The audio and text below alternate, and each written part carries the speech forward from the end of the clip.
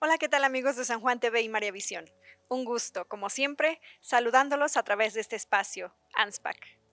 El compromiso es una responsabilidad adquirida voluntariamente. Para hablarnos más sobre este valor, este importantísimo valor, está con nosotros nuestra coordinadora de ANSPAC, Lupita González. Vamos con ella. Hola amigos de San Juan TV y María Visión. Es un gusto estar con ustedes en este espacio, en esta ocasión para hablar sobre el valor del compromiso. Entendemos por compromiso a las responsabilidades adquiridas voluntariamente. Todos creemos que tenemos un compromiso y lo hacemos parte de nuestro día y de nuestro horario. Lo entendemos como valor cuando sabemos que va a lo esencial de la persona y la transforma.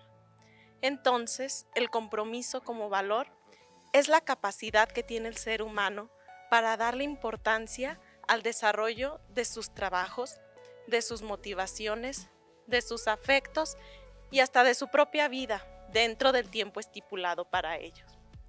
La persona con este valor permite que se alineen su mente, su alma y cada una de sus células para lograr el objetivo al cual se han comprometido, dando cada una de ellas desde su naturaleza las herramientas necesarias para lograrlo.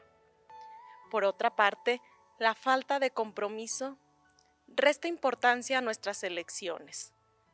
Convierte nuestras tareas diarias en ocupaciones sin sentido. Hace de nuestra vida una rutina. En cambio, cuando aceptamos el compromiso, conocemos de lo que somos capaces por vencer los obstáculos que se nos ponen en el camino y también de alegrarnos al cumplir nuestras metas que adquirimos. El compromiso es lo que convierte a una simple promesa en realidad. Es la palabra que habla con valentía de nuestras intenciones. Es lo que nos mueve a hacer algo, por muy duro o sacrificado que parezca, haciéndonos sentir vivos y ayudándonos en nuestro crecimiento personal. Comprometerse y mantener nuestros compromisos es la esencia de la proactividad. Por último, quiero dejarles una pregunta.